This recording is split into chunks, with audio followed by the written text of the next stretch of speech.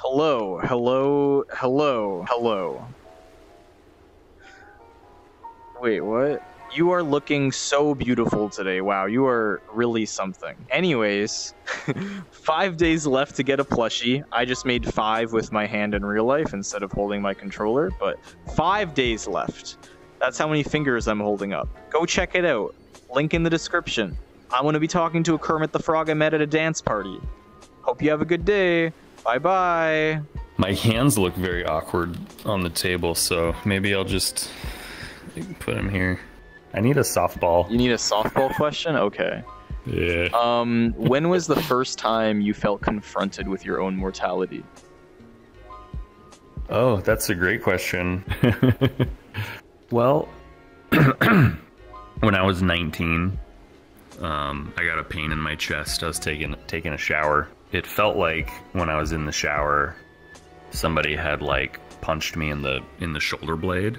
I turned the shower off, I dried off, and then I, I realized like I was having a hard time. I was short of breath. I went to the doctors. They did a bunch of x-rays. I remember sitting in the doctor's, uh, in the little uh, examination room for like four or five hours. And they came in and they told me my lung had collapsed, my left lung. If I hadn't gone in there, I would have died within like a day or two.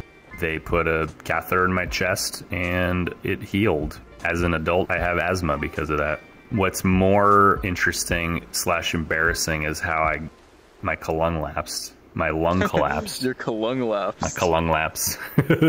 Less than a week before that, I had smoked some cloves, and I probably just didn't exhale enough. The cigarettes, cloves, they're full of like fiberglass and shit, like not not good stuff. And you're not you're actually not supposed to inhale them. And um, I likely did when I was 19.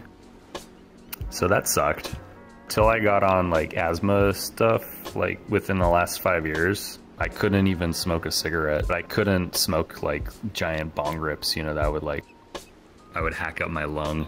Do you ever look back at stuff you used to do and think, I'm going to make sure my kids avoid this? No, no.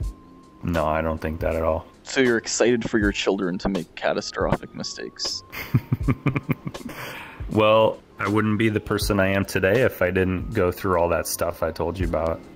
Um, and I'm grateful for that. Ideally, I'm in touch with with how my children are doing, you know, emotionally and mentally, where there's that trust, right? You know, if there's anything bothering my kids, they can tell us, you know. That's kind of the dream. I don't know how that'll actually play out in reality. That's not something that I felt I had growing up um, that I needed to have. You know, so if I could give that to my kids, of course, I'll I'll try for that. Parenting is just like any other thing you do in your life. You don't always learn how to do it the right way. As long as you're trying is is what I tell myself. As long as I'm trying to be a, a good parent, then my my kids will be relatively normal, you know. So this is what we're talking about today, huh? We're talking about parenthood. we probably not what people want to see on YouTube, but here we are. you had to pick the old guy to talk to. Um, I guess where I should start is how do you how do you make a kid? How does that even happen? well, you see, no, you know, you know, I, you didn't ask me this, but you know, it's really funny is oh, like because you want to avoid telling me how a kid's made. That's why. You already know the answer to that. Yeah, but I want you and your silly Kermit avatar to explain to me how a child well, is made. Well, first, um, you know, you you birth a tadpole into the water. See, and um, no, um.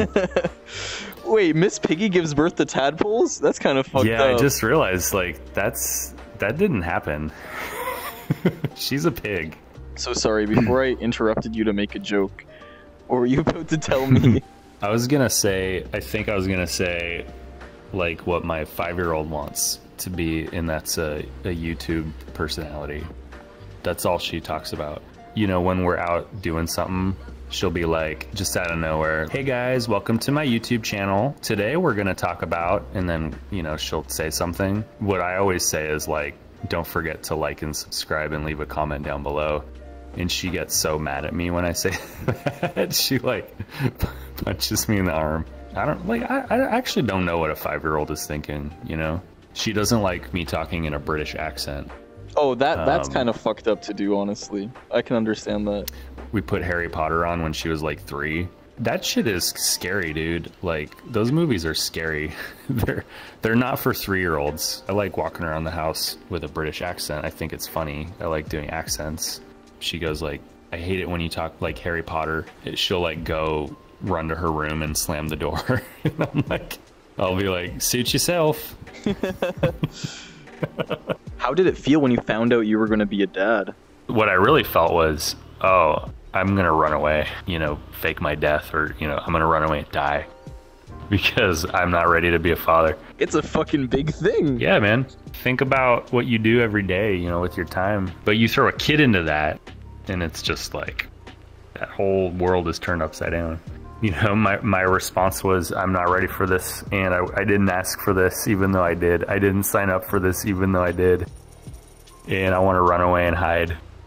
And fortunately, I didn't do that. Of course, I don't regret having kids because there's like so many um, good things that come out of having children, raising children, parenting. But it, it is it is the biggest, one of the biggest sacrifices you'll make your entire life because you, you essentially like, you know, I'm giving up freedom as I've known it up until this point. We're we're quick to adapt as human beings.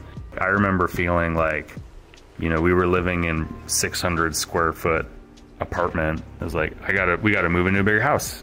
We gotta move into a bigger place. Let, and then we moved. I was like, I wouldn't have moved if I didn't have a kid. Like that's biology, man. Like your, our brains are, are wired to, to do that. And that, that's also very scary because like, do you have Target in Canada? Those aisles of like fucking Yeah, yeah, kid yeah. baby shit that that's all capitalizing on the the fact that those companies you know they know that parents if i don't get the the nicest stroller if i don't get the best car seat like i'm an awful parent like they they know that people feel that way and also you learn this over time but you don't have to be ready for this day one you're sort of just taking what you learned from your own parents um, how were you raised right how did you behave at the dinner table? Were you allowed to um, get up and walk around? That's that's one thing I struggle with. My five year old right now is she just she keeps like getting up from dinner and like starts walking around, and then I realize like I do the same thing. So she's just like copying what I do, and I'm like shit. How do you feel your relationship with your father affected the way you parent? That is something that comes up in therapy quite a bit. uh, my friend, my parents divorced when I was when I was my daughter's age. What I heard from my mom as far as like how my dad used to parent when they were still together was that he was like very hands off. And you know, they used to fight a lot about that and and it probably ultimately led to their divorce. Even with something trivial like changing diapers or just like picking up stuff off the floor. At a conscious level, I don't want to be doing that. Like I, I want to I want to avoid it if I can and that's like really hard to reconcile. Um, but I do I do it anyways. I think like I'm I'm just like my dad. That's something that's like not true. It's like something I talk about in therapy all the time. I have this aversion to parenting. I still do it and I enjoy it. I love it, but I don't want to do it. You know, I, th- I think that's like a hot hot take on the topic, but there's probably other dudes who can relate to that. Um, even though you know I think I'm doing a pretty good job.